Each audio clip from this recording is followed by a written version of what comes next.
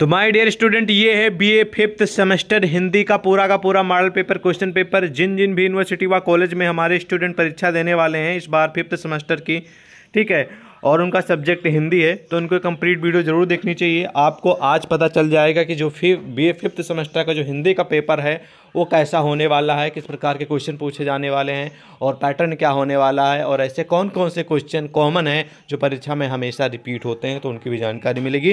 तो बिना देरी किए हुए हम वीडियो में आगे बढ़ेंगे, और पूरी जानकारी आपको देंगे। यार, आपका अपना ही चैनल सक्सेस टू हमने आप लोगों के लिए जी, जान लगा दिया पूरी तरह एग्ज़ाम की तैयारी कराएँगे। क्वेश्चन आंसर की पीडीएफ देंगे, महासंग्राम वीडियोस देंगे कुल मिला के कंप्लीट स्टडी मटेरियल यहाँ पर आपको मिलने वाला है, ठीक है? और हमने आप सभी के लिए वेबसाइट भी बना दी है तो वीडियो के डिस्क्रिप्शन में उसका भी लिंक मिल जाएगा, उससे ज्वाइन होकर वहाँ पर भी अपनी एग्ज़ाम की तैयारी कर सकते हैं। तो चलिए, प्रूफ के तौर पर देख लीजिए बी ए फिफ्थ सेमेस्टर है, ये इसी वर्ष देखिए, प्रीवियस ईयर का मॉडल पेपर है, ठीक है? देख लीजिए प्रूफ के तौर पे 2023 और 24 के सेशन का अभी रिसेंटली पेपर हुआ था, ठीक है? जनवरी माह में। और और सब्जेक्ट जो है उसका नाम है हिंदी लिटरेचर, यानी कि हिंदी साहित्य, और प्रश्न पत्र का नाम है साहित्य शास्त्र और हिंदी आलोचना। ये है हिंदी का फ़र्स्ट पेपर।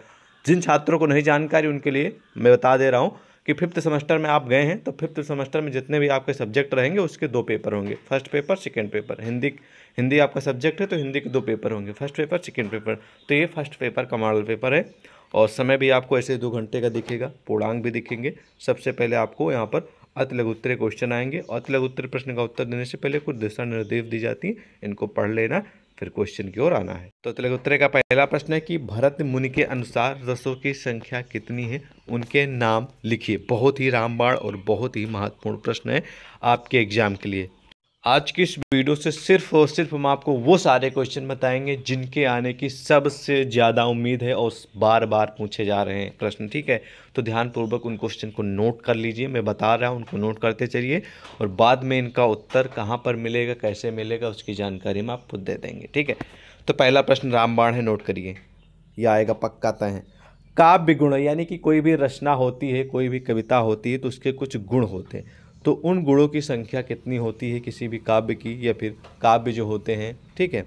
उसके बारे में आपको लिखना है, उसकी परिभाषा भी तैयार कर लेनी है और उनकी जो गुणों की संख्या यानी क्वालिटी होती है, उनकी संख्या भी लिखना है और उन सभी का नाम भी लिखना है। कितने होते हैं ये भी लिखना है और उनके नाम कौन कौन से वो भी लिखना है तो ये भी महत्वपूर्ण प्रश्न एग्ज़ाम के लिए। अगला है कि रूपक के प्रमुख भेदों के नाम लिखिए। तो रूपक वाला क्वेश्चन आप सभी के लिए नब्बे प्रतिशत महत्वपूर्ण है। हमेशा नहीं रिपीट होता, लेकिन ज़्यादातर परीक्षाओं में आया है तो इसको आप नोट कर लीजिए तुरंत के तुरंत। अगला है कि काव्य हेतु। काव्य हेतु एक बहुत ही महत्वपूर्ण प्रश्न है। आने वाले दिनों में जो हमारी क्वेश्चन आंसर वाले फ्रीज चलेंगे तो उसमें हम बाकायदा एक्सप्लेन करेंगे। इस वीडियो में सिर्फ़ हम आपको मोस्ट इंपॉर्टेंट क्वेश्चन बता दे रहे हैं। इस मॉडल पेपर से कौन कौन से क्वेश्चन आ सकते हैं, बस, ठीक है? तो नोट कर लीजिए महत्वपूर्ण प्रश्न है, ठीक है? अगला कि रीत सिद्धांत के प्रवर्तक का नाम बताइए। रामबाण क्वेश्चन नोट कर लीजिए, ठीक है? तो रीत सिद्धांत के प्रवर्तक यानी कि फादर ऑफ़ रीत सिद्धांत या फिर आप कह सकते हैं कि रीत सिद्धांत के पिता कौन है? जनक कौन है? ठीक है? तो ये भी महत्वपूर्ण प्रश्न है, इसको भी नोट कर लीजिए। तो ये अति लघु उत्तरे में किस, किसी यूनिवर्सिटी में पाँच आते हैं, किसी किसी यूनिवर्सिटी में दस प्रश्न पूछे जाते हैं। तो डिपेंड करता है यूनिवर्सिटी कौन सी है, लेकिन क्वेश्चन इंपॉर्टेंट है सभी यूनिवर्सिटी के लिए, ठीक है?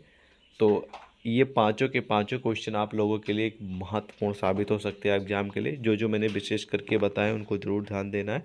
जैसे कि पहला, दूसरा और ये तीसरा और चौथा, ठीक है? और रूपक वाला भी आ सकता है। अब आ जाएँगे हम खंडबा की और यहाँ पर आपको देखेंगे लघु उत्तरीय प्रश्न, ठीक है? तो लघु उत्तरीय प्रश्न का उत्तर देने से पहले इसमें भी भैया दिशा निर्देश दी गई, इनको पढ़ लेना है, ठीक है? पहला प्रश्न है दीर्घ लघु उत्तरीय का कि काव्य प्रयोजन क्या है? उदाहरण सहित परिभाषा दीजिए। नोट कर लिए रामबाण प्रश्न। ये प्रश्न 2000 जब से मान लीजिए फिफ्थ सेमेस्टर चालू हुआ है, या आप लोग कह सकते हैं कि जब से फिफ्थ सेमेस्टर की परीक्षाएँ की शुरुआत हुई है, तब से लेकर ये प्रश्न हमेशा देखने को मिला है। मैंने प्रीवियस ईयर के मॉडल पेपर्स को उठा उठा के देखे हैं तो ये इंपॉर्टेंट क्वेश्चन नोट कर लीजिए।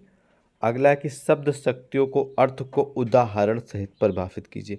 शब्द शक्ति कोई भी शब्द होता है तो उसके पास कुछ ना कुछ पावर मतलब कि शक्तियाँ होती जैसे कि एग्ज़ाम्पल मैं आपको बता दे रहा हूँ। क्रांति। क्रांति एक शब्द है, इसमें देखिए कितनी पावर है, ठीक है?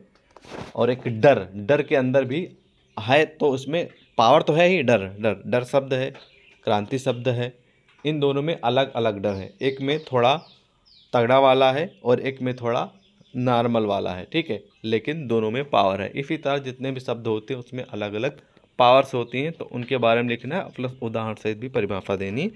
ठीक है तो ये भी प्रश्न आप सभी के लिए अस्सी प्रतिशत महत्वपूर्ण है। अगला है कि मनोविश्लेषणवाद क्या है? स्पष्ट कीजिए। अस्सी प्रतिशत से नब्बे प्रतिशत तक इंपॉर्टेंट क्वेश्चन है, इसको भी नोट कर लीजिए। नई समीक्षा है भी आप सभी के लिए नब्बे प्रतिशत महत्वपूर्ण प्रश्न है मतलब ज़्यादातर परीक्षाओं में आया है, इसलिए बोल रहा हूँ उसको नोट कर लीजिए, ठीक है? तो इन क्वेश्चनों को नोट कर लीजिए। रामचंद्र शुक्ल जी की आलोचना दृष्टि क्या है? विस्तार से समझाइए मतलब कि जो आलोचना है जो आलोचना एक विधा है तो रामचंद्र शुक्ल जी ने आलोचना को किस नज़रिए से देखा है? उन्होंने उसके बारे में क्या कहा है? किस दृष्टि से उसको एक्सप्लेन किया? उसके बारे में बताया है? उस चीज़ को लिखना है, एक महत्वपूर्ण प्रश्न ये भी साबित हो सकता है। अगला कि काव्य का स्वरूप। भाई, हर चीज़ का कोई ना कोई स्वरूप होता है। इसी तरह काव्य यानी किसी भी रचना का भी स्वरूप होता है। तो उसके बारे में आपको लिखना है, जो कि बाण प्रश्न है। हंड्रेड परसेंट उम्मीद है, प्रश्न फंसेगा, क्योंकि काव्य का अर्थ, काव्य के स्वरूप, काव्य प्रयोजन, ठीक है? काव्य के भेद, ये काव्य हेतु, ठीक है? काव्य के गुण, ये सब कॉमन क्वेश्चन जो कि हमेशा रिपीट हुए हैं, इस बार भी होंगे। नोट कर लीजिए।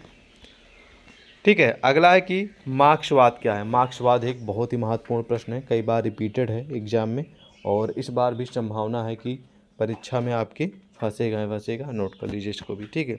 तो ये लघु उत्तरे के जो खास क्वेश्चन है, जो रामबाण है, जिनकी आने की संभावना ज़्यादा है, उनके बारे में मैंने आपको बता दिया, ठीक है? उसके बाद आ जाएँगे हम खंड, सा की ओर। यहाँ पर आपको देखने को मिलेंगे दीर्घ उत्तरीय प्रश्न, यानी कि जिनको आप लोग विस्तृत या फिर इंग्लिश में लॉन्ग क्वेश्चन बोलते हैं। इसमें भी प्रश्न का उत्तर देने से पहले दिशा निर्देश दी गई हैं, इसको पढ़ लेना इसको ज़रूर पढ़ा करिए, जो दिशा निर्देश होती है, ये ब्रिलियंट स्टूडेंट की पहचान होती है। क्योंकि इसको पढ़ने से आपको ये पता चलेगा कि हाँ भैया, हमको कितने प्रश्न करने हैं और उसका उत्तर कितने शब्दों में हमको देना है और उस हर एक प्रश्न के उत्तर देने पे हमको कितने नंबर मिलेंगे, ये आपको ज़रूर पढ़ लेना है, ठीक है? चलिए, पहला प्रश्न है, दीर्घ उत्तरेखा की अलंकार सिद्धांत का अर्थ, परिभाषा एवं उदाहरण सहित विस्तृत वर्णन कीजिए। देखिए, ये क्वेश्चन आप सभी के लिए हंड्रेड परसेंट इंपॉर्टेंट है। अलंकार सिद्धांत आपके फ्लेवर्स में, बाकायदा मैंने फ्लेवर्स में आपको बताया था कि अलंकार सिद्धांत का अर्थ, परिभाषा कुछ भी आ सकता है तो फाइनली देख लीजिए मॉडल पेपर में पूछा भी गया है और आपकी जो परीक्षा लगी उसमें पूरी संभावना एक प्रश्न फंसेगा नोट कर लीजिए हंड्रेड परसेंट अगला कि आरस्तु जो कि एक प्रमुख विद्वान है, इन्होंने अनुकरण सिद्धांत को उदाहरण देते हुए किस प्रकार एक्सप्लेनेशन किया है, या फिर अरस्तु के जो अनुकरण सिद्धांत हैं, उनको उदाहरण देते हुए प्रस्तुत कीजिए। अरस्तु से जुड़ा एक आधे क्वेश्चन आपको आपकी परीक्षा में देखने को मिल सकते हैं बे फिफ्थ सेमेस्टर के हिंदी के फ़र्स्ट पेपर में तो आप लोगों के लिए सत्तर प्रतिशत महत्वपूर्ण साबित हो सकता है प्रश्न, ठीक है? लेकिन जो अगला प्रश्न आप लोगों के समझ प्रस्तुत होने जा रहा है, ये गारंटी रामबाण हंड्रेड परसेंट श्योर आएगा। नोट कर लीजिए बार बार रिपीट हो रहा है। 2021 का जब पेपर हुआ था 22 का हुआ था, तेईस, जब से मतलब फिफ्थ सेमेस्टर है, तब से आया है क्वेश्चन क्वेश्चन ये है कि रस सिद्धांत का अर्थ, पहले तो आपको अर्थ लिखना है, फिर इसकी परिभाषा लिखनी है और साथ साथ में इसका उदाहरण से विस्तार में वर्णन करना। आप ये ये वर्णन, विस्तार ये आप लोग समझ आते हैं कि ये है क्या, इसमें क्या लिखना, कुछ नहीं। सबसे पहले आपको सिद्धांत का अर्थ लिख देना परिभाषा लिख देना, उदाहरण दे दीजिएगा, बस थोड़ा डिटेल में लिख दीजिएगा, बस वही हो गया विस्तार से वर्णन। ओके क्लियर चलिए नेक्स्ट क्वेश्चन देखते हैं। नेक्स्ट क्वेश्चन है कि रिचर्ड्स रिचर्ड्स एक प्रमुख विद्वान है, प्रमुख राजनीतिज्ञ हैं, समाजशास्त्री हैं, ठीक है? और रिचर्ड्स का संप्रेषण सिद्धांत को उदाहरण सहित स्पष्ट कीजिए। तो ये आप लोगों के लिए फिफ्टी फिफ्टी वाला क्वेश्चन है। मतलब पचास प्रतिशत उम्मीद है, प्रश्न आ भी सकता है और पचास प्रतिशत उम्मीद है कि नहीं भी आ सकता। मतलब कभी कदार आता है, हमेशा रिपीट नहीं होता है क्वेश्चन, ठीक है? तो इसको आप तैयार भी कर सकते हैं, इसका उत्तर अदरवाइज़ इग्नोर भी कर सकते हैं। तो ये रहा बी फिफ्थ सेमेस्टर की हिंदी का फ़र्स्ट पेपर का पूरा का माड़ पूरा का पूरा मॉडल पेपर, क्वेश्चन पेपर।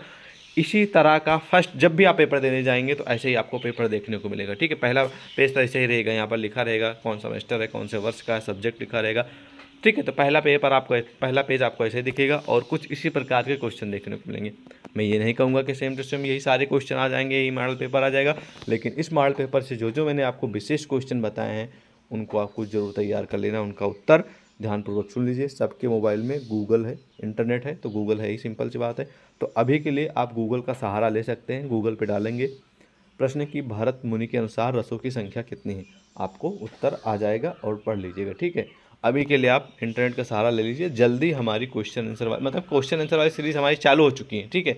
तो आप डेली ज्वाइन करिए, ठीक है? हर सब्जेक्ट की हम पर डे क्वेश्चन आंसर वाली वीडियोज़ अपलोड कर रहे हैं तो डेली क्लासेज ज्वाइन करिए और ये आपका अपना चैनल सक्सेस टू सब्सक्राइब ज़रूर कर लीजिएगा, आपको टेलीग्राम टेलीग्राम अगर व्हाट्सएप पर मैसेज करेंगे तो आपको हम पीडीएफ भी दे देंगे क्वेश्चन आंसर वाली, ठीक है?